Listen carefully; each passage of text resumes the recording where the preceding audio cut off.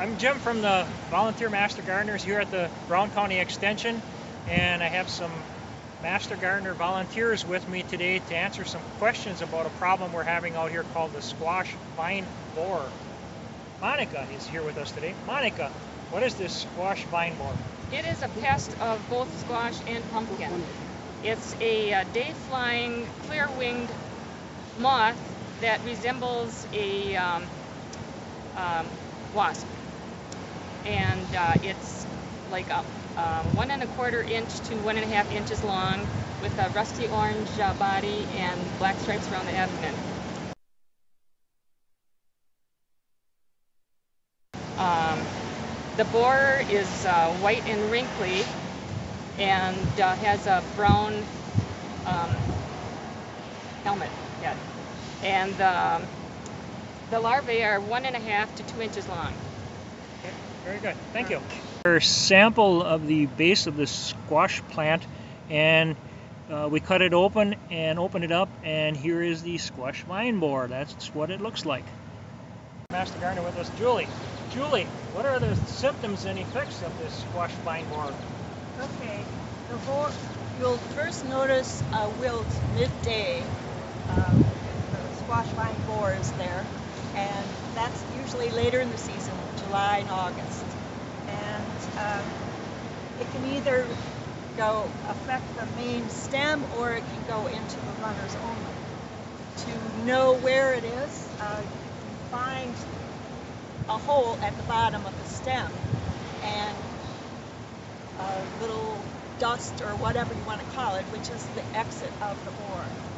Uh, when looking for the squash borer, you can follow the stem from the ground and go up, and when you see these exits of the larva, uh, then you know for sure that that's a problem that you have. There's once it starts wilting, there really isn't anything more that you can do to save the plant. Uh, by that time, the larva is already into the stems. It can be confused with the wilt, um, but by looking for the home stem, you can identify that it is a borer that's causing the problem. Thank you, Julie. Master Gardener here, volunteer Master Gardener, Tim. Um, Tim, what is the life cycle of this squash borer? Well, the, the life cycle um, starts with the um, larvae overwintering uh, in the soil. Uh, and when they, as moths, when about 900 degree days have been reached, and at that point in time, they find a convenient squash vine or pumpkin vine and lay eggs at the base of the, the vine. Um, in about 14 days or so, uh, the eggs hatch, and then the, the pupae burrow into the vine, uh, where they stay uh, for two to three weeks, and then they emerge from the, the vine as, uh, as adults again. The cycle starts all over again.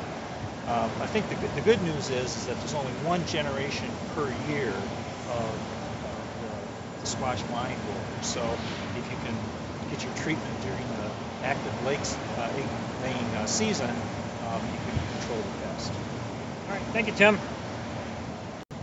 This portion of a vine from a, a, squash plant provides an excellent example of the damage that can be caused by the squash vine borer. You'll see that here near the top of this segment is where the, the vine borer entered the plant.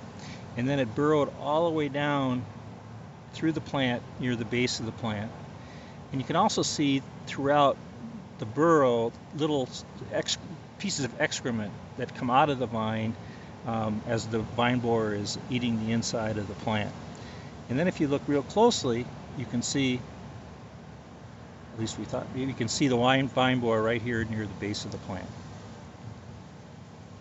Volunteer Master Gardener with us is Sandy. Sandy, how do you control this squash vine borer? Well, Tim, actually gardeners should start by mid-June to late July or when 900 degree days have accumulated. They should start monitoring their plants. They should be checking to see if there are any of the adult moths or be looking at the base of the plant to see if any of the small brown eggs are showing up there. It will take uh, two to three insecticide applications, five to seven days apart during that three week egg laying season. And this will help to control the larval borers before they get into the vines. The University Extension has a publication called Commercial Vegetable Production in Wisconsin, and it has products that are commonly used to control the vine borer.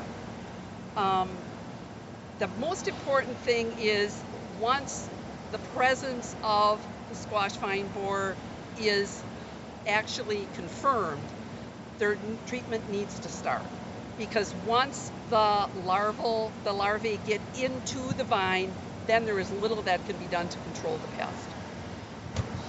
Thank you.